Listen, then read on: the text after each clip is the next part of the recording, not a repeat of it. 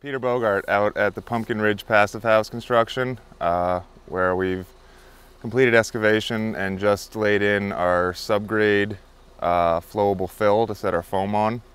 So this is the first in a series of documenting our process. Um, we've gone through excavation. We're now at subgrade, uh, which we've done with flowable fill to give us a level level field to lay our foam into.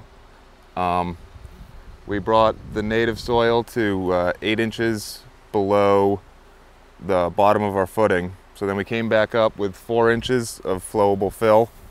Uh, we'll then add another four inches of uh, foam to that, and then our concrete our concrete footing will be poured on top of that. We've, we've done a couple different uh, techniques to get a level ground for our foam in passive house construction. Um, this was really the brainchild of uh, my lead carpenter Val, and uh, I'll have him fill you in on the specifics. So I'm Val with Hammer and Hand, building the Pumpkin Ridge Passive House, lead carpenter. And what we've done, we just finished pouring our controlled density fill, and we we decided to go with that instead of gravel and compacted to try to save on time and labor costs, although the material cost is a little more.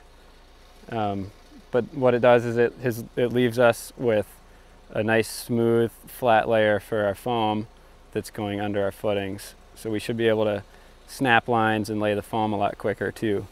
So I see it as, as a, a few steps forward for a small amount of money.